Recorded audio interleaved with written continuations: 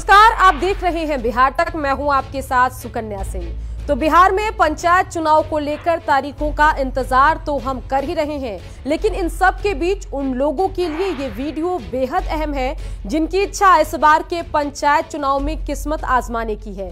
तो अगर आप इस बार बिहार के पंचायत चुनाव में किसी भी पद के लिए नामांकन करने की इच्छा रखते हैं तो ये जानकारी आपके लिए बेहद अहम है। कुछ नियम है जिसका आपको पालन करना होगा और भ्रष्टाचार सहित नौ मामलों में अगर आप संलिप्त पाए गए तो फिर आपकी उम्मीदवारी रद्द कर दी जाएगी। क्या कुछ वो नौ मामले हैं? जरा ये देखिए। राज्य निर्वाचन आयोग ने इन नौ मामलों को फिक्स किया है। वो जरा एक बार देख लेते हैं। जिनके दो से ज़्यादा बच्चे हैं, वो बिहार पंचायत चुनाव नहीं लड़ पाएँगे। भ्रष्टाचार के दोषी नहीं लड़ सकते हैं बिहार के पंचायत चुनाव। चुनाव से जुड़े किसी कानून के तहत अयोग्य घोषित किया गया है तो चुनाव नहीं लड़ सकते हैं।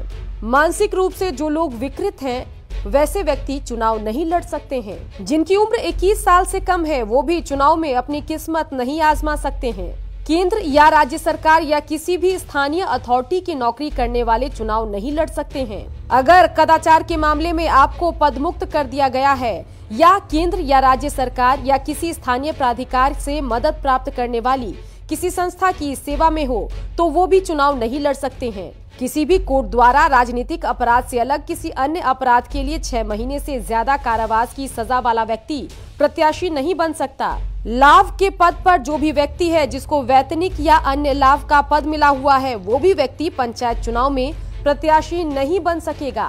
तो अगर आपने पंचायत चुनाव लड़ने का मन बना लिया है, अगर आप भी पंचायत चुनाव में किसी भी पद के लिए अपनी किस्मत आजमाना चाहते हैं तो इन नौ नियमों को आपको ध्यान में रखना होगा। और अगर आप दोषी पाए जाते हैं या इन नियमों को आपने फॉलो नहीं किया है तो फिर नामांकन के बाद भी आपकी योग्यता को रद्द कर दिया जाएगा, आपके निर्वाचन को रद्द कर दिया जाएगा।